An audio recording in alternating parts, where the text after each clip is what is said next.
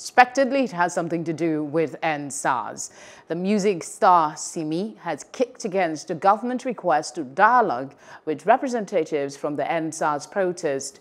The music star made this known via Twitter on Monday. She said instead, the government should address all Nigerians in a press conference. She added that if protesters chose representatives, they will bear the responsibility of the outcome of the movement.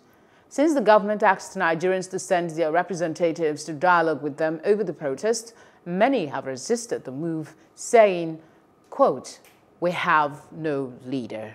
Yes, and of course, uh, joining us to quickly share her thoughts on this is Plus TV Africa's Ife Omai.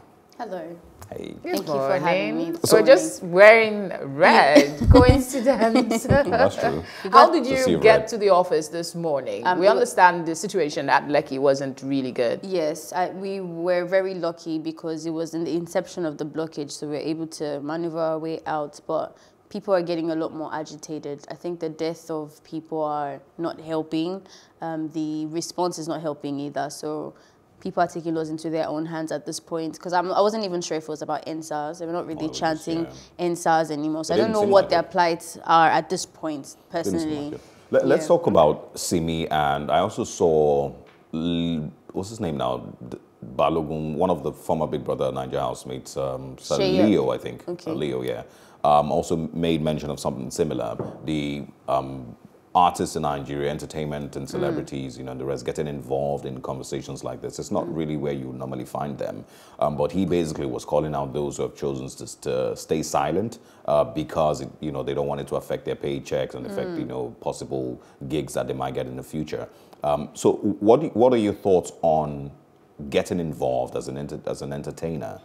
I think I think there is a responsibility for entertainers in this plight because we are the most hit. Creatives are not necessarily um, the fit in the box type of people, even with um, appearances. A lot of our creatives have dreadlocks and fit the category that are usually stigmatized by these um, special force.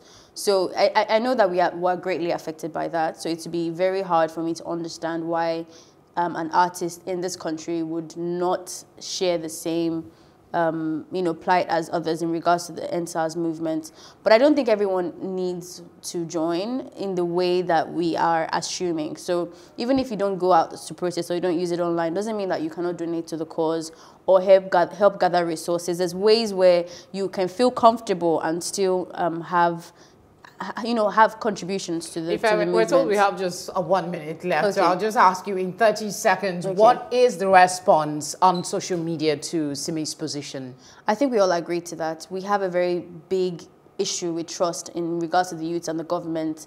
And if you have one face, and it's easy to dismantle the whole thing. One, either by threat to the person's life or even by corruption. So if it's if you can't pinpoint this protest to one person, then it's harder to break the unity that we have. So I'm with her on it, and I think majority of the social media um, protesters are also with her on that.